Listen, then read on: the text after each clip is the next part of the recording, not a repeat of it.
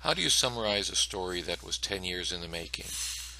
Like any other story, you need to start in the beginning. And Temple Oseh Shalom began as a concept in 2006.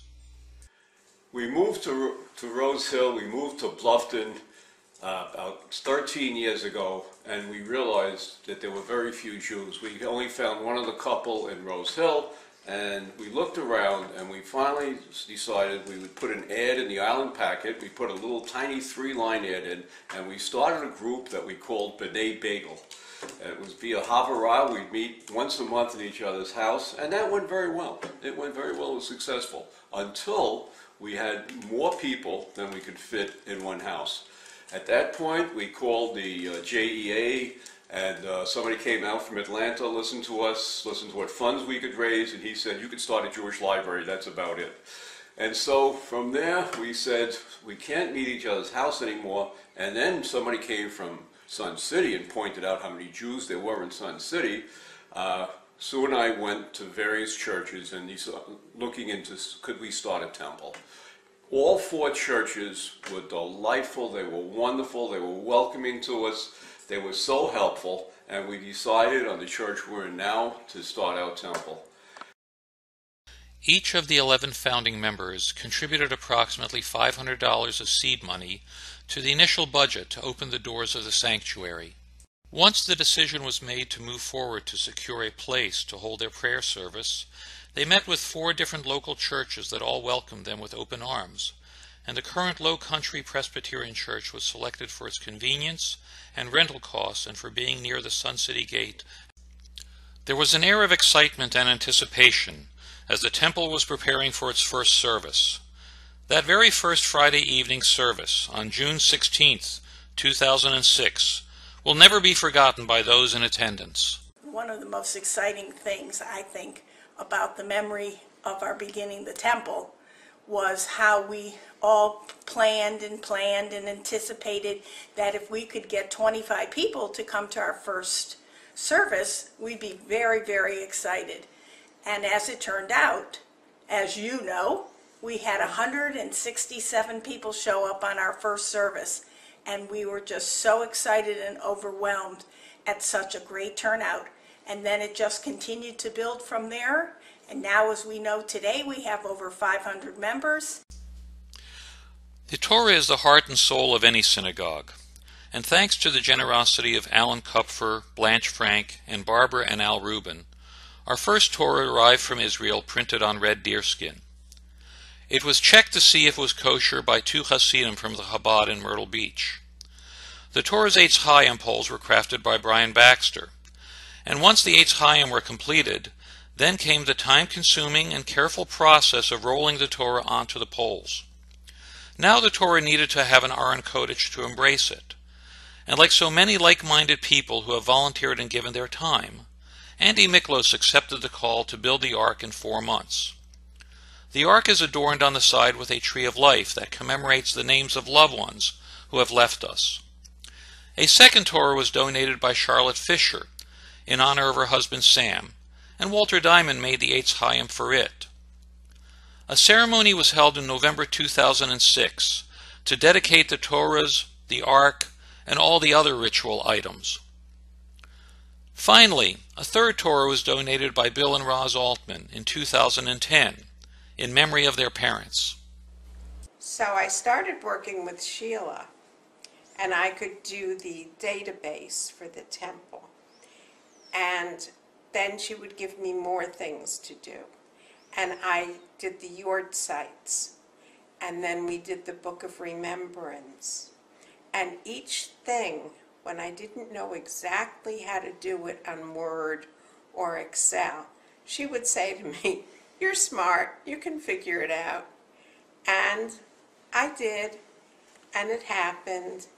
And then one day she said to me, I want to give you more work. She said, so I'll give you a title. and that was how it all started. And then she just threw everything my way, and I did it. Our first bat mitzvah was something to get excited about. The young girl, Tiffany Gibbons, read in Hebrew and chanted a portion of the Torah to our congregation in June 2007, as she celebrated her rite of passage. This was definitely a historical occasion that opened the door for others to follow, and follow they did. The first B'nai Mitzvah class was in May 2008 and consisted of eight women. They studied for months with Bob Weiner, and when they finally walked down the aisle in our temple, they beamed with joy on the accomplishment they had achieved.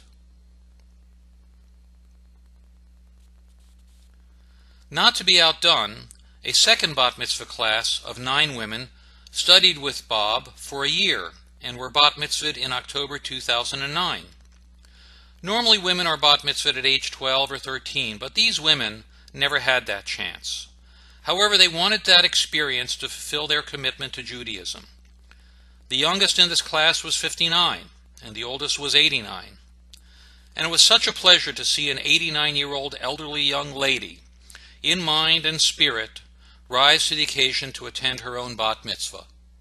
I've been Gabbai of the temple since uh, the first or second service. What happened was I walked up to Bob Weiner and I said, Do you need help up here running the service? And he said, Yeah. And I did everything from bringing him a glass of water to taking the Torahs out and putting them back and following along with the, the reader to make sure we were close to the same place and pronunciation. Uh, and I loved it. Al Rubin brought the uh, Parris Island Outreach Program to the Temple Board approximately seven years ago, and we all thought it was a great idea and pursued putting together a program that we thought would benefit the young men and women that were going through training, and it really does. When we go there, it's a rewarding experience for us, and most importantly, the young men and women that are in training really appreciate us being there. Uh, They enjoy uh, our service, they enjoy having two hours away from drill instructors and, and the kind of harassment that they get there, and it's very important to them. Uh, We hope to be able to continue that program into the future. In December 2008, after some initial meetings with Saul's funeral home, about 50 members of the temple, led by Bob Weiner, consecrated a portion of the Low Country Memorial Gardens as the Oseh Shalom Memory Gardens. The agreement with Saul's encompasses space for 509 burials. As Al Rubin quipped to some reporters that day, historically you can pray anywhere in Judaism, but you need a place for your deceased. Now the temple had that place. Longfellow once said, Music is the universal language of mankind, and since the beginning of the temple, music has been an element of our services. This began with Al Balkin, an accomplished music educator and our cantorial soloist who played the piano as he sang. He was succeeded by Ken Rosenberg, a former college professor and our current cantor. Our choir, with as many as 17 members, is led by Terry Weintraub, our first Jew by choice and our choir director since 2007. The choir has been such um, an exciting thing for me to get involved with and to get started with, primarily because of the choir members. They have been so dedicated and so fulfilling. They come to every practice when they're in town. They've come to all of the services when they're around. And although they travel a lot, they're there a lot. But I think that the congregation has really appreciated and enjoyed the music that they've provided, the soulfulness during the year, as well as high holidays. I think it's added an immense dimension to the services that is very fulfilling for all of us involved. Over the past decade, our path forward as a congregation was clearly defined by our board and religious leaders. Our first president was Sheila Goad, and our first religious leader was Bob Weiner. Sheila was followed by Art Krulik, and then Al Rubin. Under Al's presidency, our congregation had a rabbi lead our service, which has continued to this day. Our first rabbi was Bob Siegel. When Al Rubin passed away, he was succeeded by David Weintraub as president, and then Jackie Katz. Once Rabbi Siegel's contract expired, Rabbi Steve Kirschner stepped up to the plate and was eventually succeeded by Rabbi Yosef Levanon.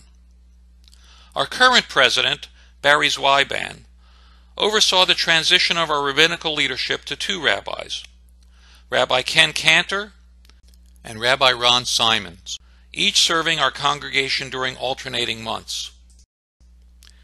In retrospect, a small group of like-minded Jews were the seeds that created the miracle of our very own synagogue. It was grown over the past 10 years through the volunteer efforts of many people, only a few of which we can acknowledge in this short video. Our affiliate organizations and outreach programs have benefited the membership and the community around us. The Men's Club offers many occasions for our members to enjoy themselves and give back to the community. The Sisterhood convenes various functions throughout the year. The Sisterhood Seder, Card Party, and Fashion Show, to name a few, that allow the female members to gather together and have a good time Many of their programs result in funds that go back to the temple or the community. There are many temple outreach programs, one of which is Backpack Buddies. These volunteers provide nutritious food to the elementary school students who are at risk of going hungry on the weekends. We appreciate and acknowledge all those volunteers we have, may have omitted who have dedicated their time and philanthropy and deserve the credit for their benevolence. So what does the future hold for Temple Oseh Shalom? If the past provides any insight, the continuing volunteer efforts of our leadership and supporting members foretells that our future is bright as we proceed to the next decade of providing a place for peace and religious sustenance.